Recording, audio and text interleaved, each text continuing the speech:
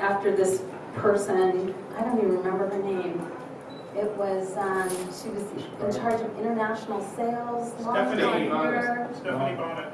Stephanie Bonnet? Stephanie Bonnet, Ah. I think, maybe. Yep. She hated me after that. Um, anyway, so uh, the job was for assistant to basically Tim and Paul, an executive assistant. I was like, I'll do anything. Okay, I'm game. And uh, when I interviewed with Tim and Paul, it was just so funny and so, you know, I had never interviewed anywhere ever. This is my first real job interview. I And think I- our interviews were kind of weird. they were awesome. They were perfect for me. Um, so then they were like, "So you speak German?" I was like, "Yeah, I think I can speak German." So they said, "Okay." So they called somebody in Germany right then and there and made me talk to him. And then they were they were asking, "So can she speak German? Is she like good?" And he goes, "Yeah, she's she's good, I guess." And I was like. So I, and then the next thing was that I met um, the software and hardware team, and I'll never forget Robert, smartass that he is, was like, "How do you spell insegrevious?" So I'm Whoa. like, you know, That's not a word. even though it's not a word, I spelled it perfectly. But Is it Star? Is it Star Trek or Star Trek? And thank God my dad and my older brother watch Star Trek. So and Star Trek, and that goes down a whole other avenue for me. Um, so I got that right too. And then the whole thing was just so crazy. And then I had to travel a half an hour to get to this job. And they were like, okay, well, you are working for us. You're not working for anyone else. They basically hired me to show up at 6:30 in the morning while while they were all sleeping to make sure everybody else was doing their job. So automatically everybody started hating me. And they basically said, "Well, you know, you work for us. You don't you're not here to make friends." remember this. I will. And everybody hated my guts. I remember that. But I tell you, I tell you what it taught me. It taught me to just cut through the BS and really get down to it. And so, you know, at this at this point, Tim was meeting all kinds of interesting people, which he continues to do to this day. Because Tim, if you guys haven't all figured it out yet, um, he is the closest in our lifetime to a Leonardo da Vinci that you're going to find. And I, I really mean that. I, I don't say that lightly. I, I just want you to know that in the time that I've known Tim, he's always working on something and it's never half-assed. You know, you, you'd walk down to his lair and, and he had many lairs, just FYI, not only in the old folks home, but also in various spots. And I had access to them all. That's how I learned the speak of the video toaster. I never got trained on it. I just had access to all the software and hardware programmers, well, hardware guys and the software programmers. And Tim was amazing. I, I just got to say, just like his dad was really cool in answering all his questions, Tim always did that for me. I had zero, zilch computer experience. You got to remember, at that time, I mean, the Amiga was there, which was super cool. It was like being from the future, had true video timing. But there was really, you know, the PC, it was always this infighting between Apple and Bill Gates was being a jerk. I just remember hearing things about it, but I never really understood all of it. And I just gotta say, you know, here we create a device that I ended up demoing that was a live demonstration, which at that time nobody was doing live demonstrations of anything, whether it's on the computer or in the video realm. You got to remember that in the video department at that time, it was all super high end, you hmm. know, Anal chief engineers. Yes, that's what we used to call them, anal chief engineers. And it was literally, you know, the million dollar suite. So there were all these dudes dressed in their, you know, gazillion dollar outfits that just maneuvered around and you were like supposed to be ingratiated to them. And I was like, F that. you know? And so. She literally said. I literally did many points. Because you gotta remember, I am probably 28 at this time. It's my first real job. and I am like a young girl, and I'm like, I'm not gonna dress like a dude. I'm not, you know, I'm just getting into being a girl, being away from my parents. And so, hence, I just kind of said, I'm going to be a woman, I'm going to dress like a woman, I'm sexual like a woman, and you can take it or you can leave it. I remember before one of the shows, you came up to Paul and me and said, what's my limits? Or what, what can I not say? Yeah, because I, I, the, so the first trade show was in Cologne at the, um, Mess. yeah, at the AmiExpo there, and it was all Lightwave and Video Toaster, and that's the first time when they were like, "Oh yeah, just say some stuff, Keith," and I was like, "Uh, okay." And so I just looked at the interface, and I basically used our amazing interface to just go through what it was. Let's And- try this one. Yeah. She was trying it. Yeah, and and it was just easy, and I knew enough because you know I knew because again this is going back to the fact that I was the executive assistant. I had access to all the programmers and hardware engineers where no one else was allowed to go in. So I became friends with everybody, and I'm like, hey, what are you working on?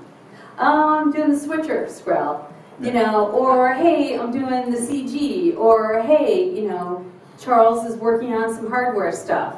Um, and so that, you know, and then I would just come to Tim and I'd say, what the fuck does that mean? What is this? What is that? And the, the coolest part about, I'm just jumping forward a little bit, and we'll get back to Kiki effects, I haven't forgotten that, is just trade shows. So the weird thing about trade shows at that point, there was computer shows, and then there were broadcast video shows. There was no videography. There, there were no camcorder-driven shows. All that happened because of what happened with the video toaster. And so, you know, Yeah, all we of a could sudden, count on one hand the number of computers on the show floor at that time. yeah, and so, you know, I'd be dying and I'd be like, what do you mean Genlock? And he would, Tim would draw me diagrams of how the switcher would work to explain to me what Genlock meant in the computer realm and what Genlock meant in the video realm. And so I was just learning on the fly. Again, I'd come from being a, um, a dental assistant and a recent college grad and having zero technology experience at all. And in many ways, it was probably great because I was just a freshie. Yeah. He could mold my mind. You were a sponge. Yeah, I was a sponge. But he was fantastic. I, I just got to say that Tim never, ever made me feel stupid for asking any questions. He always thoroughly explained things to me, which I was deeply grateful for. And not trying to sound like a jerk, but you know, back in the 90s, there were no women in very few women. How many programmers? Zero. Right. I mean, there were very few women, and the women that were at trade shows, you know, were hired for TNA, and um, you know, and just speaking boxes where they would hear something recorded, and they They'd be reading the script or they'd be using an ear prompter, yeah. playing the tape. Yeah, and so for me, I, I, I mean, without trying to sound cliche, I was from Kansas and my parents were European. I, all I did was just go through school so I could just get out and get to the world and do something.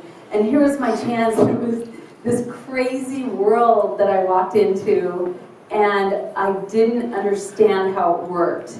And so I guess I'm kind of grateful for that because Tim and Paul were just so cool and just saying, you don't have to take anybody's crap. And so I will never forget the first NAB, which is in 1990. And nobody told me that I was going to demonstrate the video toaster, that picture he showed of you with the swing set. And the thing he also didn't tell you about was the swing set was revolutionary because having a booth at a trade show costs an exorbitant amount of money. You, you normally went through the rigmarole of boring crap and setting it up and all this stuff. And, you You know, you hired a company to design it. Yeah. And then they arranged with the and it would be unions to install. horrible and boring because back in the day it was. And so, because we were bootstrapped, as Tim was saying, you know, we literally bootstrapped. We were like, how can we do it on the cheap? How can we send it cheap? How can how can everything be light? reassemble it without the union, Yeah. union the. Yeah, and so, exactly, that was it. That was the thing. So it's all those little things of how we got around things, of how we evolved and how we, That, that was a proscenium in the middle of the trade show, it was a stage, yeah. and that really wasn't done. And nobody did that. Yeah, And the fire marshal would always come and, you know, threaten. That happened at the counter shows too, uh, where the crowds would be so big, the fire marshal, you remember any of that? Oh, yes. Uh, The fire marshal would try to get rid of everybody. or either that, you'd go to a, a, an AmiExpo in New York and want to break your legs if you touched anything, for real. Did you just unplug that? Yeah, I mean, it was, That's an electrician. it was that kind of thing. So we were, you know, we did everything in-house. And that was something that I think also set us apart. And that's also um, where Paul Montgomery was really genius. He always really thought outside of the box about many things. And I would say Paul really could meet someone and just know what their talent was. Like, you're this, you're this, you're this, you're this. And he was always kind of, He told me I was a vacuum cleaner, so. you know, but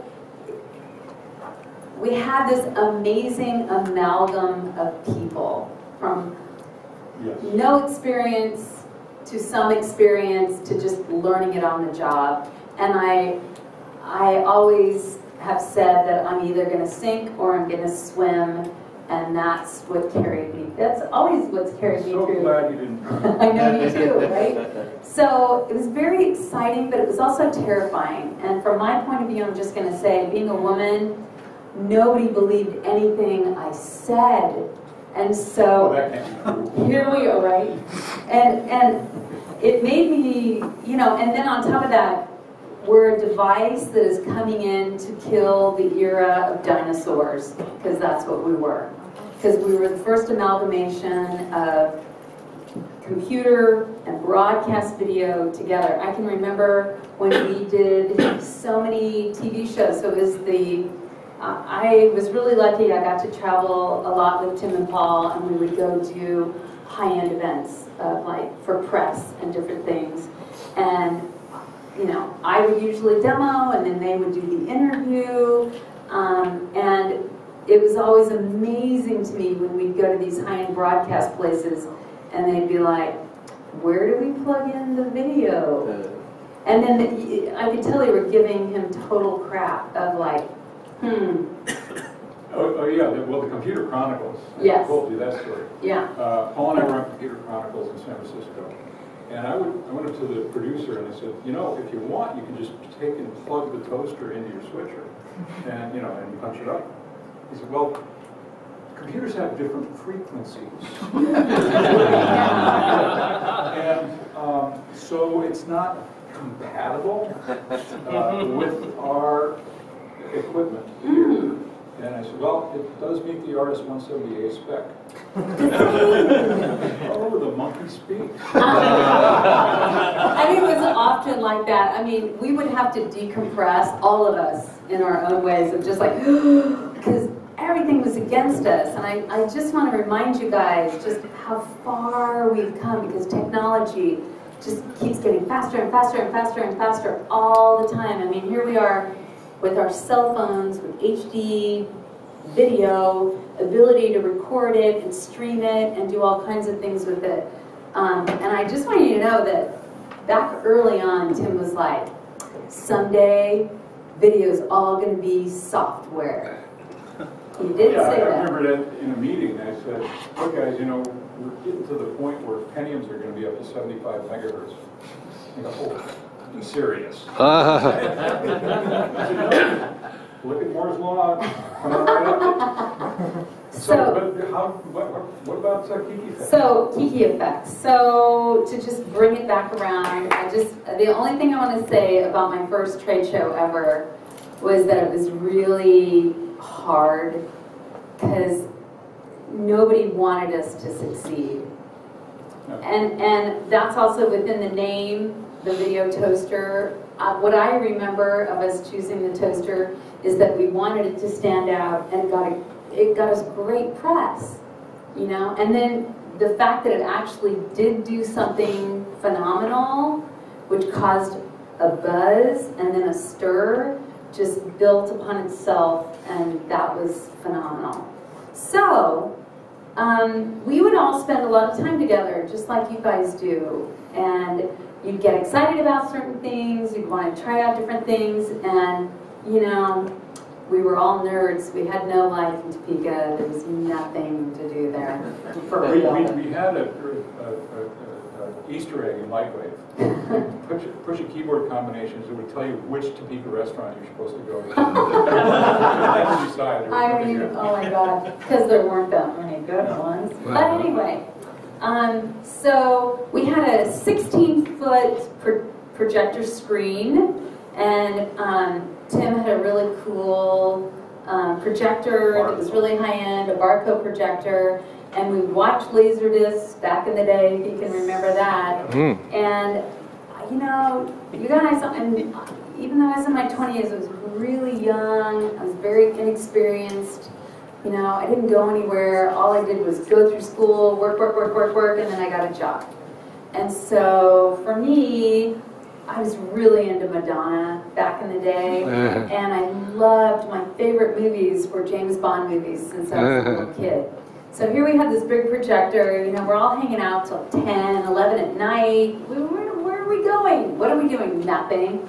So I would, I would do silhouette dancing and I'd mess around with it. And then uh, Peter Tjerdsma basically said, God, I think we could do something with that. And I was like, oh yeah, let's, let's do something. And they're like, we could make effects. So at that time, it, Right it, behind you? it, Yeah, there- right, yeah, right? He. This is exactly how it happened. If I, uh, yeah, I